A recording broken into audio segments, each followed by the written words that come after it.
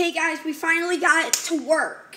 And uh, so for this video, we have no idea what we're going to be doing. So put something in the comments to tell us what we should play and do. And one more thing. Big shout out to our first subscriber, our friend Violet.